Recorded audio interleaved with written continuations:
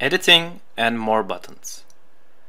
You can click the edit button in the bottom left to edit the current note.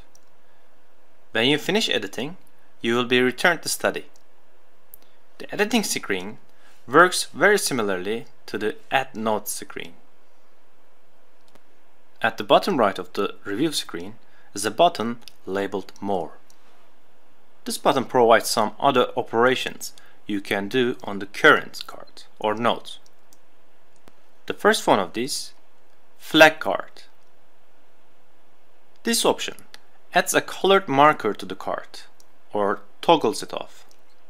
Flags appear during study and you can search for flag cards in the browse screen. This is useful when you want to take some action on the card at a later date, such as looking up a word when you get home. Mark note. This option adds a mark tag to the current note, so it can be easily found in the browser. This is similar to flagging individual cards, but works with a tag instead.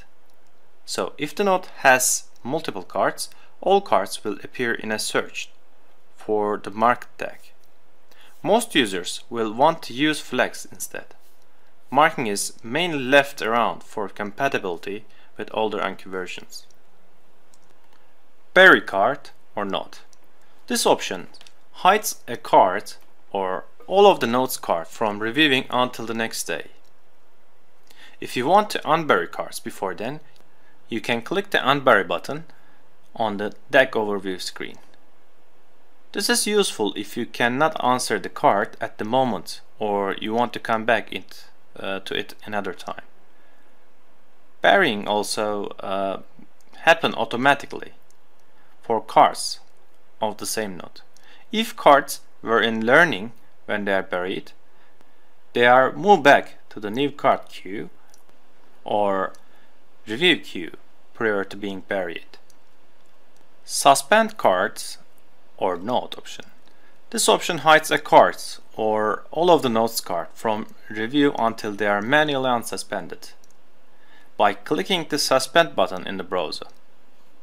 This is useful if you want to avoid reviewing the note for some time but don't want to delete it. If cards were in learning when they are suspended, they are moved back to the new card queue or review queue prior to being suspended. Delete notes.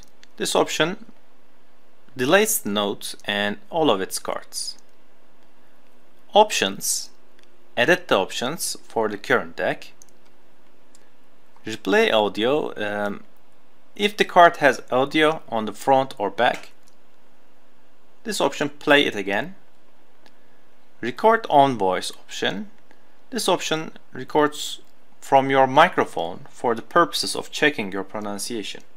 This recording is temporary and will go away when you move to the next card. If you want to add audio to a card permanently, you can do that in the edit window. Replay on voice option, replay the previous recording of your voice.